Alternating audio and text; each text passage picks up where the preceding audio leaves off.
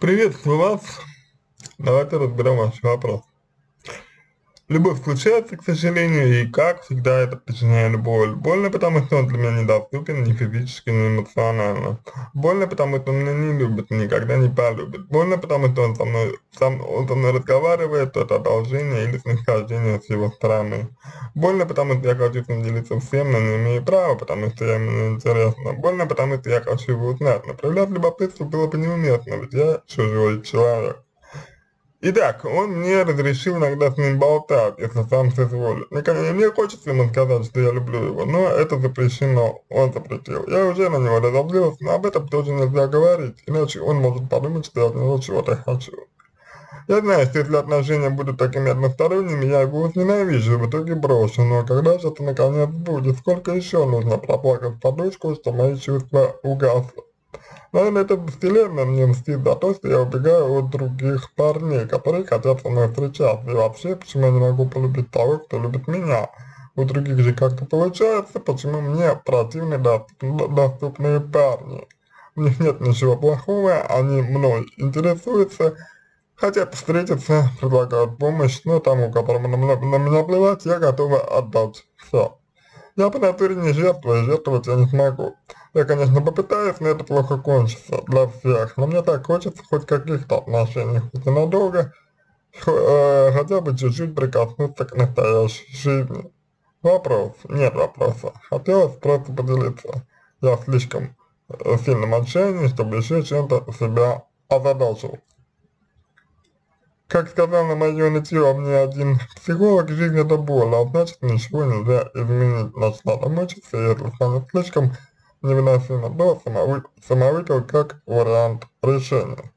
Да, вот и как меня можно полюбить, если я все время плачу, если я все время грустная, когда вспоминаю о любимом. В отношениях нужно дарить радость, а получается все наоборот. Значит, если я буду с ним жить, я вообще забуду, что такое радость. Я разучусь улыбаться, такое я уже проходила.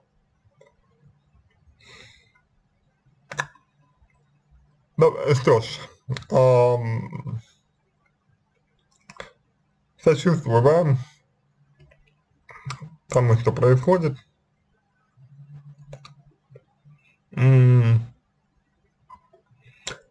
На самом деле, я бы э, здесь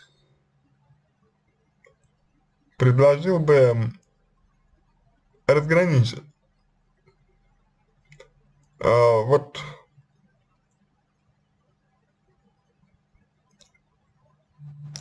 Что такое любовь для вас? И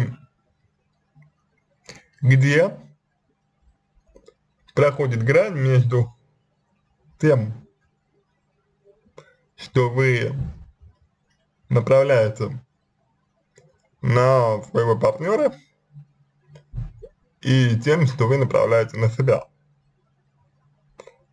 То есть, вот смотрите, вы пишете, больно, потому что он для меня недоступен ни физически, ни эмоционально. Это про что? Про отвержение. Возможно. При, предположим. Больно, потому что он меня не любит и никогда не полюбит. Да? Тоже меня не любит, тоже история про отвержение. Больно, потому что если он со мной разговаривает, то это одолжение или снисхождение с его стороны. Это про унижение вы чувствуете себя униженным. Больно, потому что я хочу с ним делиться, но не имею права, потому что я ему не интересен. Опять, опять же, это про самооценку вашу. А, больно, потому что я хочу его узнать, но проявлять любопытство было бы неуместно, я чужой человек.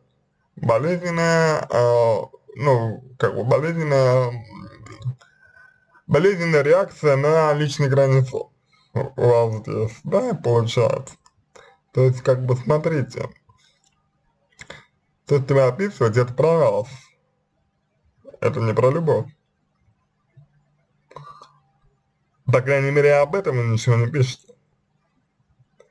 Вы пишете, что хотите с ним делиться всем. Окей.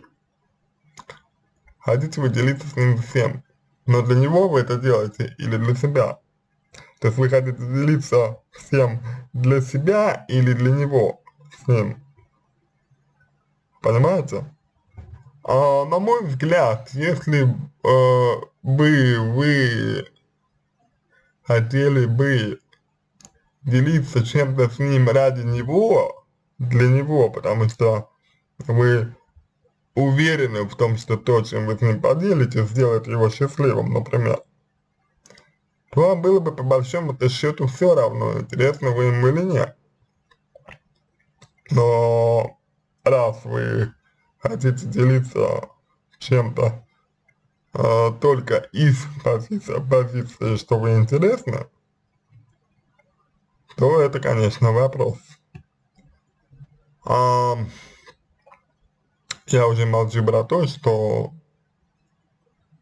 только в процессе того, чтобы делиться, человек, собственно, и может э, стать интересным. да, человек может стать интересным. Если не делиться, откуда возьмется интерес?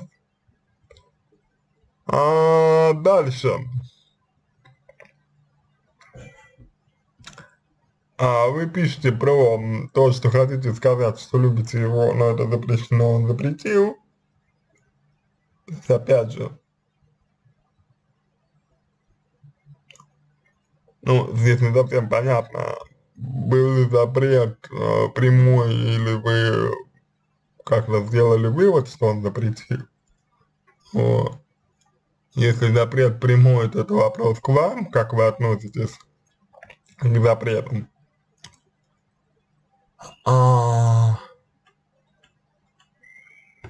Но в целом почему-то его запрет для вас, для вас важнее.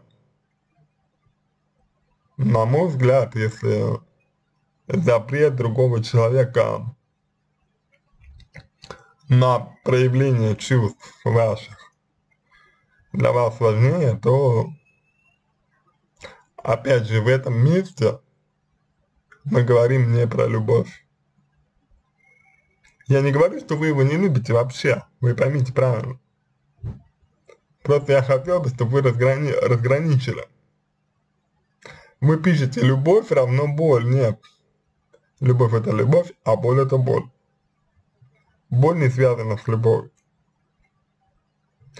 Привязанность, потребность, да, любовь нет. Вопрос, не путаете ли вы потребность э, с любовью?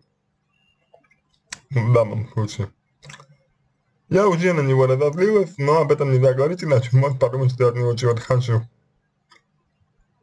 Так, вы пишете, что мне хочется сказать, что люблю его, но это запрещено. Он запретил, я уже на него разозлилась. А, за что разозлился-то? Но об этом тоже нельзя...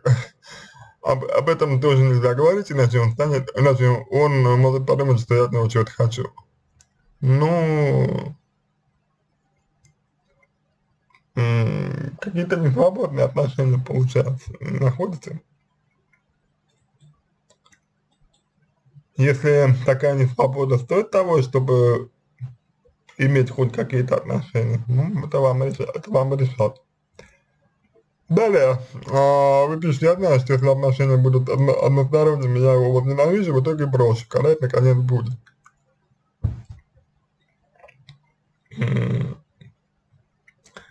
Знаете как? Это история про то, что я сижу на стуле, хочу встать, но не встаю. Подкладываю себе гвоздь, э, ну, на сиденье ставлю гвоздь, чтобы больно было сидеть. И жду, когда боль станет нестерпимой, чтобы встать. А зачем вставать? То есть мотивация какая вставать? В вашем случае получается это желание избежать боли? Если вы не будете разграничивать в, в своем отношении к человеку, что про вас, а что про него, боль будет всегда. Сколько еще нужно проплакать подушкой, чтобы чувства наконец угасли? Не знаю. Наверное, эта вселенная мне мстит за то, что я убегаю других парней, которые хотят со мной встречаться. Ну, лично я сильно сомневаюсь, что вселенная может кому-то мстить. И вообще, почему я не могу полюбить того, кто любит меня? А, дело в том, э, это нем, немножко вот про то, что вы, да, то, что вы дальше пишете. А, дело, в том, дело в том, что вам а, важно доказывать, доказывать свою ценность, и можно это сделать только с тем, кто э, вас как-то э, ну, по вашему мнению. А дальше у других получается, да, потому что другие не стараются доказать что-то. Почему мне так противны доступные парни? Потому что э, нет э, ощущения, что вы, э, нет ощущения, что вы можете что-то доказывать. А без доказательств свою ценность вы не принимаете. Без оспаривания, без какой-то какой, -то, борьбы, на мой взгляд. В них нет ничего плохого, они меня интересуются, но тому, которому на меня плевать, я готов отдать все, да, чтобы обратить внимание и как бы его, его на себя. А, часто психологи связывают это с детско-родительскими отношениями, с холодным отцом. Не знаю, насколько, насколько это правда. Я по натуре не жертвую, а жертвовать не смогу. Ну, вы, на мой взгляд, уже жертвуете. Вот. А, дальше, по крайней мере, то, что вы пишете, является проявлением жертвы. Я, конечно, э, я, конечно, попытаюсь, но это плохо кончится. Вот это жертвенность, видите? Вот. Мне хочется хоть каких-то отношений, хоть ненадолго, хотя бы чуть-чуть прикоснуться к настоящей жизни. Это история про вас. Это, в данном случае тут не про любовь идет история.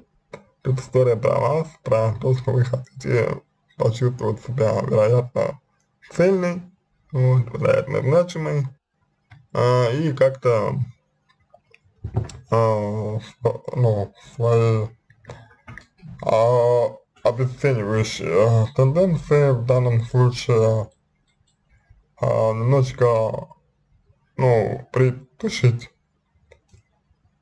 Дальше хотелось просто поделиться, мы молодец, что поделились. Я слишком сильным отчаянии, чтобы сейчас себя чем-то озадачивать. А, как советник психолог, жизнь это боль. Да нет, не вся, жизнь не только боль, жизнь гораздо больше боли. А, значит, надо мучиться, если станет слишком невыносимо, сама выпала. Это, это вот проявление жертвенности, а вы говорите, что вы не жертва. Как можно меня любить, если я все время плачу, если я все время грустный, как на любимом? Вопрос не в этом, вопрос, как вы обращаетесь с, с чувствами своими в отношениях нужно дарить радость, получается наоборот, нет, не нужно. Не нужно. Не нужно ничего.